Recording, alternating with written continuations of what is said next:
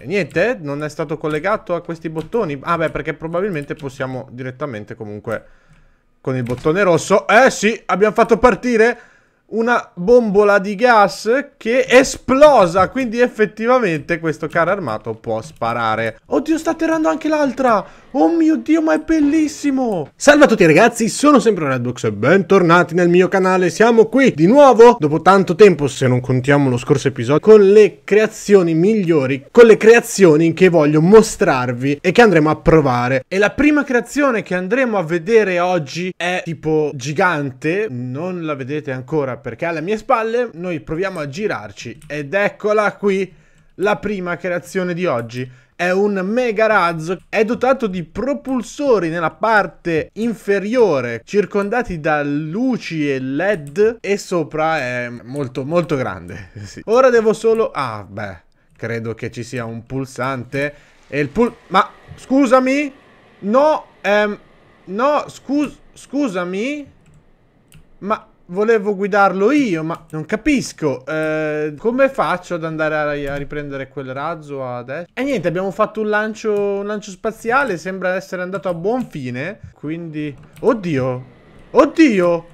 Sta atterrando? Oddio! È atterrato da solo! È atterrato... È partito! Si sono staccate le pa... Oh! Oh! Oh! Ma... Le altre... Oh! Oh! Sono. Ah, ma è quello di SpaceX!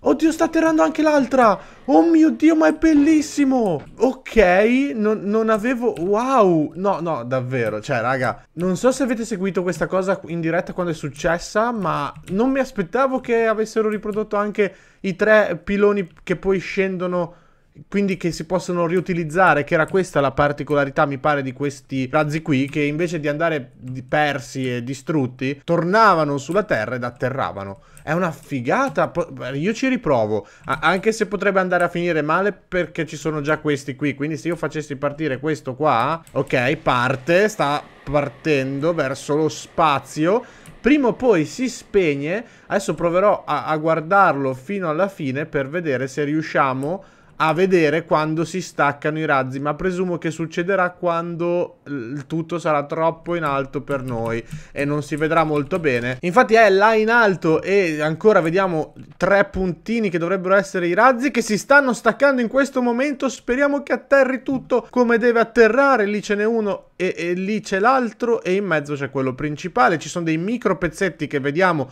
stanno atterrando, che credo siano quei pezzetti qua che abbiamo trovato in quello di prima. E il bello è che è successo tutto senza che... Oddio, oddio, no, no, no, no, no. Aspetta, aspetta. Uh, guarda che precisione! Sono atterrati accanto, non hanno sbattuto giù niente. E il terzo, quando arriva, è quello principale... Um, sta scendendo? io vedo ancora due pezzi distinti o forse perché è un effetto... No, è uno unico molto grosso che sta atterrando... Ok, atterra dritto. Oh, si accendono i razzi per rallentare pure la caduta e l'atterraggio.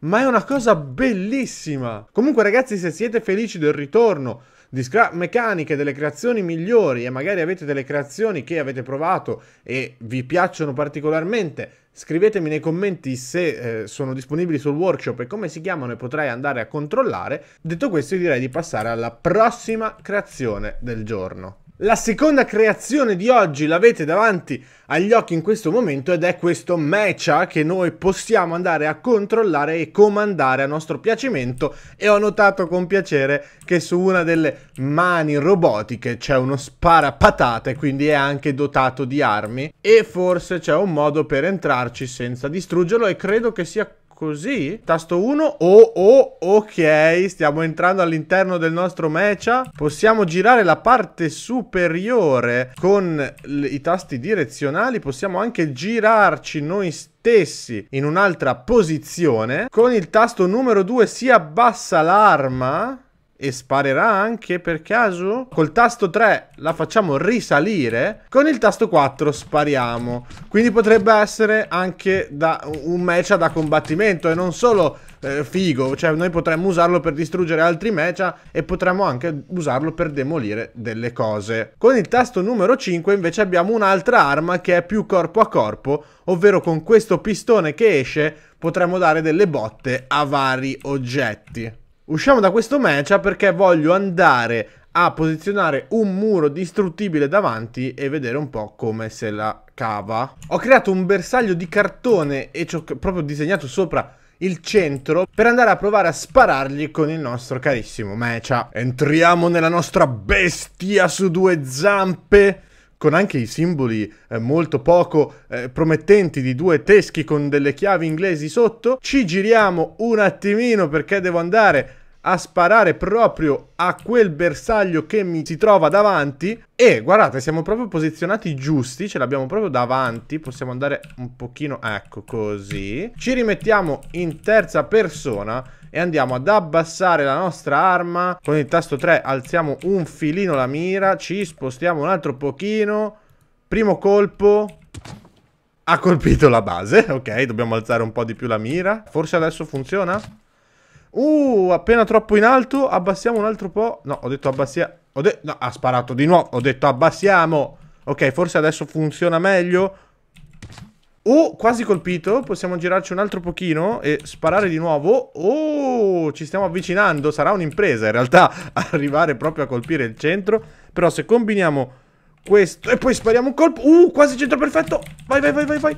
Oh, ho distrutto e ho colpito il centro. Come avete visto abbiamo colpito e perforato questo muro che era anche disegnato sul retro perché la mia vernice è speciale e siamo riusciti a beccare praticamente il centro quasi perfetto però nessuno sta guardando in questo momento e tac, abbiamo colpito il centro perfetto. Oh, avete visto? L'abbiamo colpito? L'abbiamo colpito, non, non, non, ci sono dubbi. Abbiamo colpito il centro perfetto con il nostro mecha, quindi siamo pronti per la prossima creazione. La prossima creazione è questo carro armato che sembra che si stia muovendo da solo, in realtà praticamente segue i movimenti del mio personaggio. Quindi se io giro a destra, lui gira a destra. Se io vado in alto, lui va in alto. Se io vado in basso, lui va in basso.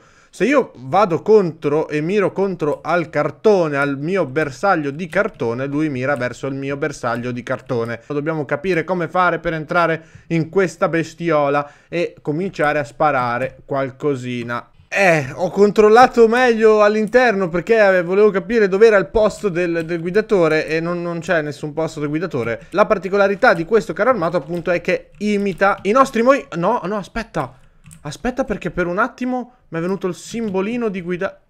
Mi è venuto il simbolino per guidare per un attimo e adesso è sparito. Per quale motivo? Comunque questo dovrebbe essere lo Scorpion Tank di Halo. Per chi ha giocato ad Halo, ditemi nei commenti se effettivamente questo è quel carro armato lì. Guardate, se io ci giro da sopra mi si gira tutto nello stesso momento e io non ci sto capendo più niente. Siccome il carro armato di poco fa era fighissimo, si muoveva e tutto però non sparava, ho trovato questo carro armato che in realtà dovrebbe essere in grado di sparare perché vedo che ha un lanciapatate che dovrebbe attivare la bombola di esplosivo che è qui e ci sono anche delle cartucce che possiamo andare a prendere quando abbiamo bisogno di altri colpi semplicemente togliendo questa parte qui.